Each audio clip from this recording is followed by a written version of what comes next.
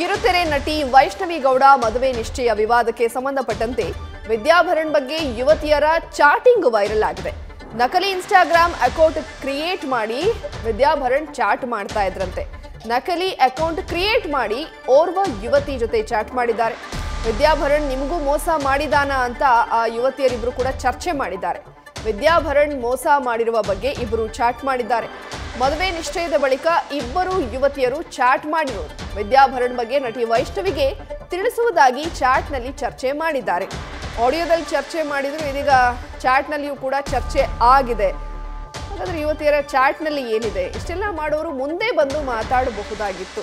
At least Vaishnavi ಅವರ ತಾಯಿಯ ಬಳಿ ನೇರವಾಗಿ ಏನಿದೆ? ಆ ಪ್ರೂಫ್ ಏನೋ ಇದೆ ಅಂತ ಹೇಳಿ ಮಾತಾಡ್ತಾರಲ್ಲ, ಅದನ್ನು ತೋರಿಸಬಹುದಾಗಿತ್ತು. ಆಡಿಯೋದಲ್ಲಿ ಮಾತಾಡಿದ್ರು ಇದೀಗ ಅವರ ಚಾಟ್ ಕೂಡ ವೈರಲ್ ಆಗಿದೆ. ನನಗೂ ಮೋಸ ಮಾಡಿದ್ದಾನೆ. ಈಗ ಮದುವೆ ನಿಶ್ಚಯ ಆಗಿದೆ. ಇವ್ರ ಮನೆ ಹತ್ರ ಬರೀ ನಾಟಿ ಕೋಳಿ ಸಾಕಿ ವರ್ಷಕ್ಕೆ ಆರು ಲಕ್ಷ ರೂಪಾಯಿ ಸಂಪಾದನೆ ಮಾಡ್ತಿದ್ದಾರೆ. ನೀವು ಕಲಿಬೇಕಾ ಇವರಿಂದ? ಫ್ರೀಡಮ್ ಅನ್ನ ಈಗಲೇ ಡೌನ್ಲೋಡ್ ಮಾಡಿ. ಆತ ಏನು ಹೇಗೆಲ್ಲ ಮೋಸ ಮಾಡ್ದ ಅನ್ನೋದನ್ನ ವೈಷ್ಣವಿಗೆ ತಿಳಿಸೋಣ ಅಂತ ಆ ಇಬ್ಬರು ಯುವತಿಯರು ಚಾಟಲ್ಲೇ ಮಾತಾಡ್ಕೊಂಡಿದ್ದಾರೆ. ಡೀಟೇಲ್ಸ್ ಕೊಡ್ತಾರೆ ನಮ್ಮ ಪ್ರತಿನಿಧಿ ಶಿವಕುಮಾರ್. ಶಿವಕುಮಾರ್ ಇಬ್ಬರ ನಡುವಿನ ಆಡಿಯೋ ಸಂಭಾಷಣೆ ವೈರಲ್ ಆಗಿತ್ತು. ಅದಾದ ಬಳಿಕ ಇದೀಗ ವಾಟ್ಸಪ್ ಚಾಟ್ ಕೂಡ ವೈರಲ್ ಆಗಿರೋದು. ಸೇಮ್ ಯುವತಿಯರಿನ ಏನು ಚಾಟ್ನಲ್ಲಿ ಏನಿದೆ ಶಿವಕುಮಾರ್?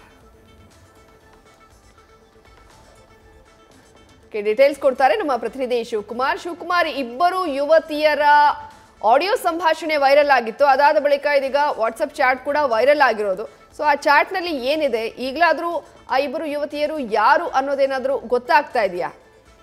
ವಿದ್ಯಾಶ್ರೀ ಜಾನ್ವಿ ಪ್ರಕರಣಕ್ಕೆ ಸಂಬಂಧಪಟ್ಟಂತೆ ಸದ್ಯ ಸುಬ್ರಹ್ಮಣ್ಯಪುರ ಪೊಲೀಸ್ ಸ್ಟೇಷನ್ ಅಲ್ಲಿ ಎಫ್ಐಆರ್ ದಾಖಲು ಮಾಡಲಿಕ್ಕೆ ಪೊಲೀಸರು ಎಲ್ಲ ರೀತಿಯ ಸಿದ್ಧತೆಗಳನ್ನು ಮಾಡಿಕೊಳ್ತಿರುವಂತದ್ದು ನಿನ್ನೆ ಸಂಜೆ ವಿದ್ಯಾಭರಣ್ ಅವರು ನೇರವಾಗಿ ಪೊಲೀಸ್ ಕಮಿಷನರ್ ಭೇಟಿ ಮಾಡಿ ಕಂಪ್ಲೇಂಟ್ ಕೂಡ ಕೊಟ್ಟಿದ್ದಾರೆ. ಆದ್ರೆ ಯಾವಾಗ ವಿದ್ಯಾಭರಣ್ ಅವರು ಪೊಲೀಸ್ ಠಾಣೆಗೆ ಹೋಗಿ ಕಂಪ್ಲೇಂಟ್ ಅನ್ನ ಕೊಡ್ತಾರೆ? ಕಂಪ್ಲೇಂಟ್ ಕೊಟ್ಟಂತ ಬೆನ್ನಲ್ಲೇ ಸದ್ಯ ಇದೀಗ ಪ್ರಕರಣಕ್ಕೆ ಸಂಬಂಧಪಟ್ಟಂತೆ ಇಬ್ಬರು ಯುವತಿಯರು ನಡೆಸಿದ್ದಾರೆ ಎನ್ನಲಾದಂತ ಇನ್ಸ್ಟಾಗ್ರಾಮ್ ಚಾಟ್ಸ್ ಕೂಡ ವೈರಲ್ ಆಗ್ತಿರುವಂತದ್ದು ಅದರಲ್ಲಿ ಯುವತಿಯರು ಬಳಸ್ತಾರೆ ವಿದ್ಯಾಭರಣ್ ನನಗ್ ಮೋಸ ಮಾಡಿಲ್ಲ, ಮಾಡಿದಾರ ಅಂತ ಹೇಳಿ ಓರ್ವ ಯುವತಿ ಪ್ರಶ್ನೆ ಮಾಡಿದಂತ ಸಂದರ್ಭದಲ್ಲಿ ಅಂದ್ರೆ ನಿಮ್ಗೂ ಕೂಡ ವಿದ್ಯಾಭರಣ್ ಮೋಸ ಮಾಡಿದಾರ ಅಂತ ಹೇಳಿ ಪ್ರಶ್ನೆ ಮಾಡಿದಂತ ಸಂದರ್ಭದಲ್ಲಿ ಆಕೆ ಮತ್ತೊಬ್ಬ ಯುವತಿ ಹೇಳುವಂತದ್ದು ನನಗೂ ಆತ ಮೋಸ ಮಾಡಿಲ್ಲ, ನನ್ನ ಗೆಳತಿಗೆ ಮಾಡಿದ್ದಾನೆ, ಸುಮಾರು ಜನಕ್ಕೆ ಈ ತರ ಇದೇ ರೀತಿಯಾಗಿ ಮಾಡಿದ್ದಾರೆ. ಜೊತೆಗೆ ಸದ್ಯಕ್ಕೆ ಏನು ನಟಿ ವೈಷ್ಣವಿ ಗೌಡರನ್ನ ಸೊಸೆ ಮಾಡ್ಲಿಕ್ಕೆ ಅವರ ಪೋಷಕರು ಮುಂದ ಮುಂದಾಗಿದ್ದಾರೆ. ಅಂದ್ರೆ ವಿದ್ಯಾಭರಣ ಕುಟುಂಬಸ್ಥರು ಕೂಡ ಆತನ ಕೃತ್ಯಕ್ಕೆ ಸಾಥನ ಕೊಡ್ತಿರುವಂತದ್ದು ಆಕೆಯನ್ನ, ನಟಿಯನ್ನ ಸದ್ಯಕ್ಕೆ ಮನೆಯ ಸೊಸೆಯನ್ನ ಮಾಡ್ಕೊಳ್ಳಿಕ್ಕೆ ಮುಂದಾಗ್ತಿದ್ದಾರೆ. ಆದ್ರೆ ಕಳೆದ ದಸರಾ ಟೈಮ್ನಲ್ಲಿ ಅವ್ರ ಮನೆಯಲ್ಲಿ ದಸರಾ ಗೊಂಬೆಗಳನ್ನ ಕೂರಿಸಿದಂತ ಸಂದರ್ಭದಲ್ಲಿ ಮತ್ತೊಬ್ಬ ಯುವತಿಯನ್ನ ಮನೆ ಕರ್ಸ್ಕೊಂಡವರು ಕೂಡ ಇದೇ ರೀತಿಯಾಗಿ ಡ್ರಾಮಾವನ್ನ ಮಾಡಿದ್ರು. ಅಂದ್ರೆ ನಿನ್ನನ್ನ ನಮ್ಮ ಮನೆಯನ್ನ ಸೊಸೆಯನ್ನ ಮಾಡ್ಕೊಳ್ತೀವಿ ಅಂತ ಹೇಳಿದ್ರು. ಆದ್ರೆ ಈಗ ವೈಷ್ಣವನ್ನ ಈ ರೀತಿಯಾಗಿ ಮಾಡ್ಕೊಳ್ಳಿಕ್ಕೆ ಹೋಗ್ತಿದ್ದಾರೆ ಅಂತ ಹೇಳಿ ಹೇಳಿದಂತ ಸಂದರ್ಭದಲ್ಲಿ ಮತ್ತೊಬ್ಬ ಯುವತಿ